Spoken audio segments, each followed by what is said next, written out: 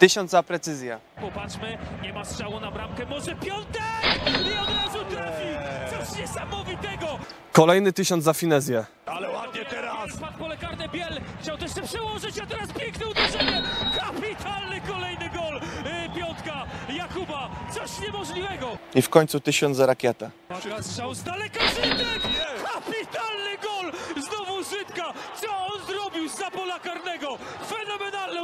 Dobra panowie, księgowy Żytek dokona rozliczenia za ostatni mecz. Zarobiliśmy 3000 za trzy bramki na leczenie chorej 10-letniej dziewczynki. Panowie, ale akcja Fortuna za gole trwa jeszcze w tej kolejce. Musimy jeszcze bardziej oskubać Fortunę. Tym bardziej, że stawka jest podwójna. Po 217 dniach na ten stadion przychodzą nasi wierni kibice. Okej drodzy kibice, to my gwarantujemy emocje i bramki, a wy stuprocentową obecność i głośny doping. Podejmujecie wyzwanie?